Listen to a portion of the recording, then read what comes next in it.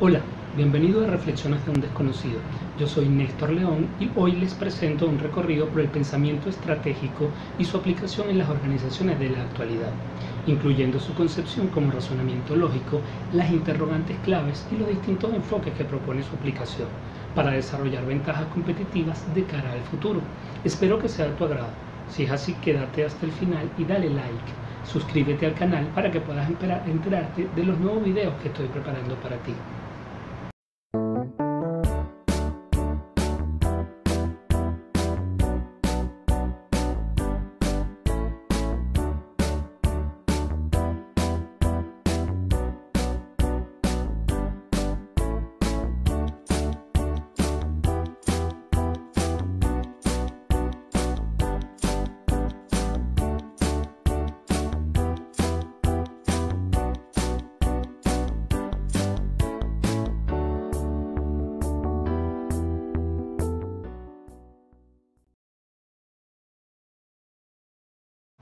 El pensamiento estratégico está orientado a formular, implementar y evaluar acciones que permitan alcanzar objetivos de éxito y la resolución de los problemas organizacionales, desarrollando centros de decisión, definiendo planes de asignación de recursos y combinando actividades de diversas áreas funcionales para definir variables de comportamiento y proyectar escenarios con una perspectiva de futuro que propicie la toma de decisiones de planeación.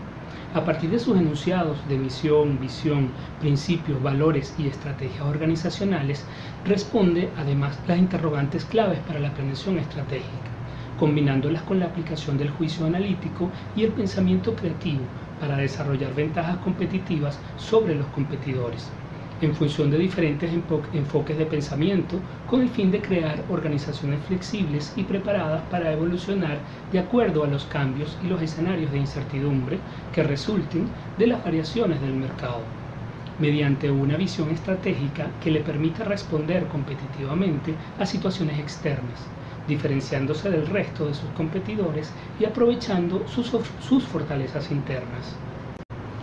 Sus herramientas permiten el desarrollo del pensamiento estratégico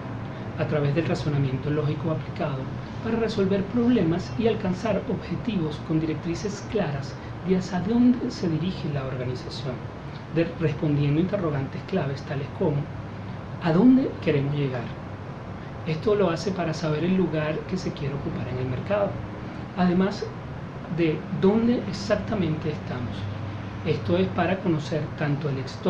entorno como el mercado en el cual está inmerso a través del estudio de sus fuerzas competitivas. ¿Cómo llegamos a dónde queremos llegar? Con esta interrogante se le permite conocer las herramientas con las que cuenta o debe conocer con cuáles herramientas cuenta para alcanzar sus objetivos. Y la cuarta interrogante sería cómo monitoreamos el proceso para corregir el rumbo.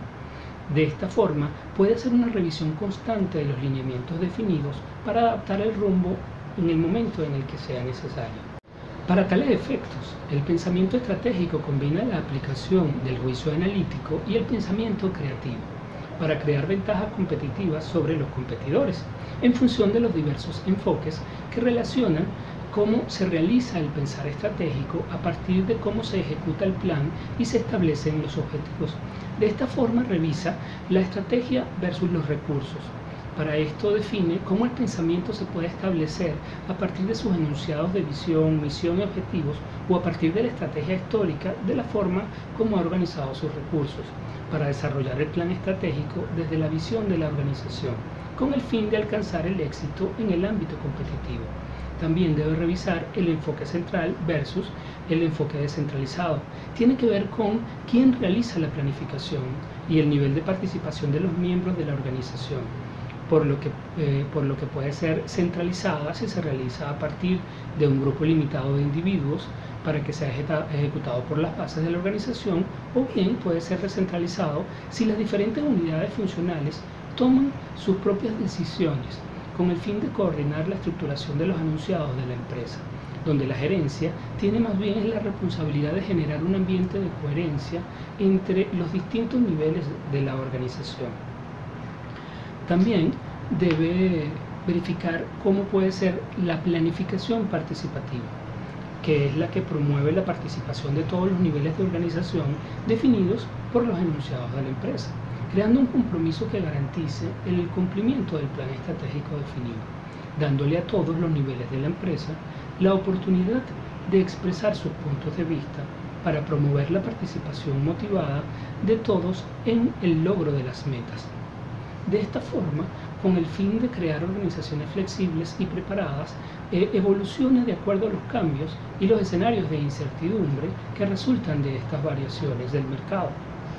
mediante una visión estratégica que le permite responder competitivamente a situaciones externas diferenciándose del resto de sus competidores, aprovechando además sus fortalezas internas. Vale, esta ha sido la presentación del pensamiento estratégico. Quise desarrollarlo de una forma separada de los tres pensamientos gerenciales que les presenté con anterioridad, pues es mucho más conocido y manejado que por los gerentes en la actualidad, aunque no es por eso menos válido ni relevante, tal vez sea todo lo contrario, puesto que ofrece herramientas prácticas y metódicas que permiten visualizar los objetivos de una forma tangible. Eh, espero que te haya gustado este nuevo vídeo y te sea de utilidad. Eh, muchas gracias por haberte quedado hasta el final. Eh, te pido que no te vayas sin regalarme un like, por favor. Eh, suscríbete si aún no lo has hecho, recomiéndame a tus amigos, a tus conocidos y bueno, nos vemos en el próximo video. Chao.